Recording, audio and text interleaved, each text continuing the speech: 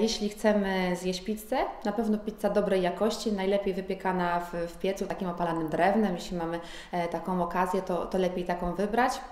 E, To cienkie ciasto gwarantuje, że nie zjemy dużej ilości węglowodanów, bo to przecież od nich tyjemy. E, niewielka ilość sera jak najbardziej jest wskazana, bo też on ma swoje walory smakowe, ale też zdrowotne, jeśli chodzi o skład. E, I kilka dodatkowych składników, to może być cebula, to może być czosnek. Fajnie, gdyby to były e, sosy na bazie jogurtu, a nie dużej ilości majonezu. I mamy naprawdę całkiem fajne danie, którym możemy zastąpić jedno z dań naszych na przykład obiadowych. Pizza na kolację, zwłaszcza jakaś na grubym cieście, nie jest dobrym rozwiązaniem, ponieważ duże ilości węglowodanów o tej porze e, niestety w dużej mierze pójdą właśnie w zbędne kilogramy.